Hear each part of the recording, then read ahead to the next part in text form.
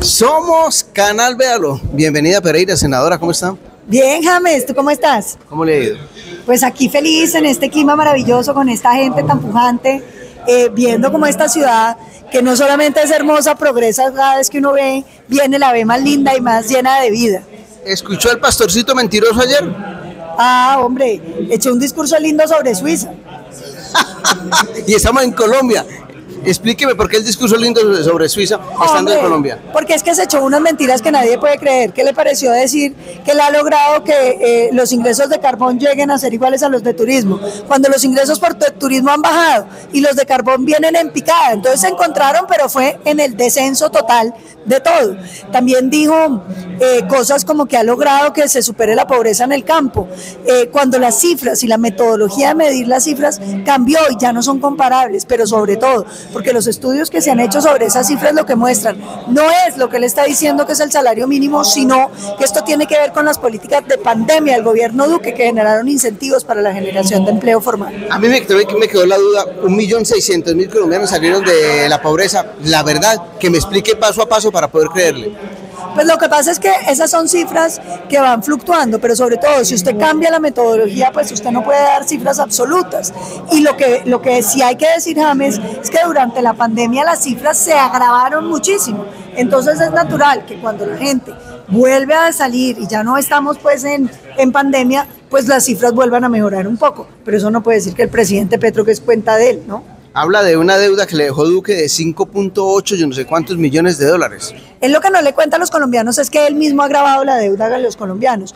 Él ha venido creciendo y creciendo la deuda y sobre todo ha venido gastando y gastando. Bueno, una cifra que les quiero dar. Se gastó entre 2023 y 2024 adicionales 9.5 billones de pesos, que eso es toda la plata existente en burocracia habla, estamos hablando de, los, de, las cosas buenas del gobierno de, Petro, habla de que se le va a disminuir el presupuesto al deporte en Colombia.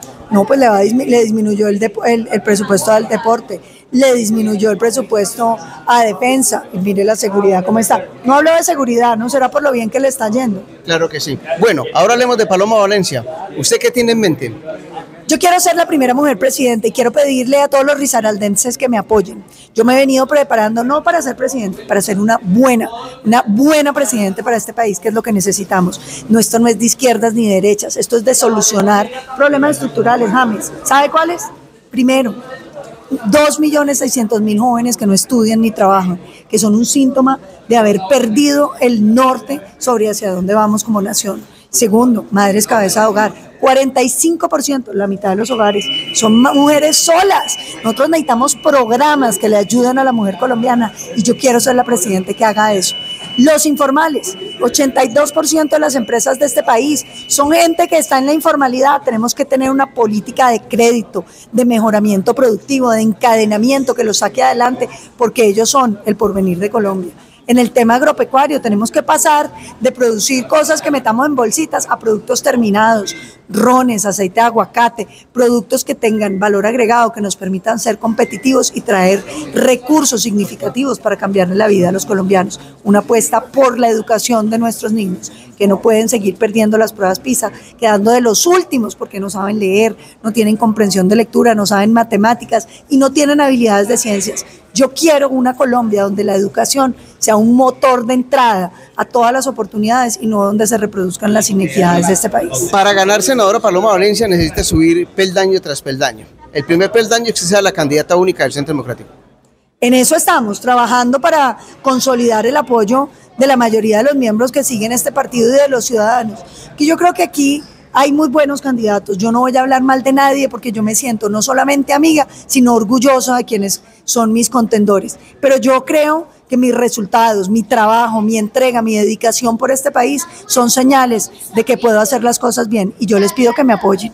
¿Qué es mejor, ser candidata por convención o ser candidata en marzo y que salgan a elegir a Paloma o llámese como se llama el candidato del Centro Democrático? Pues hombre, yo creo que nosotros tenemos que buscar un mecanismo que nos permita ir con otros partidos, James. El, país, el palo no está por cucharas, como dicen en mi tierra. Uno lo que necesita es que haya una gran coalición del centro hacia la derecha que nos permita pasar a segunda vuelta y ganar la presidencia de la República. Le pregunté a la Cabal que si ella perdía, ¿qué hacía? No fue muy clara. Le pregunto a usted, Si usted pierde, ¿usted qué hace? Trabajar, trabajar y trabajar. Para mí la presidencia es un destino que me encantaría servirle a este país, pero eso no cambia mi entusiasmo ni por mi patria, ni por mi partido, ni con mis ganas de seguir sirviéndole a este país. Le cambio la pregunta. Si usted pierde, ¿usted se va? ¿A dónde me voy? Ah, o sea, ¿usted respaldaría el acabaro al ganador? Yo respaldo al que gane, yo soy una mujer súper disciplinada y cuando doy mi palabra, la cumplo. Perfecto. Un mensaje para Colombia. Que los quiero mucho y que este país los necesita a cada uno de ustedes. Colombia no necesita un salvador, Colombia necesita fijar una dirección, que todos nos pongamos las botas y entre todos construyamos esa Colombia más grande y más justa, que se parece más a lo que nos merecemos. Ojalá esas botas de ese policía las respetemos en su presidencia.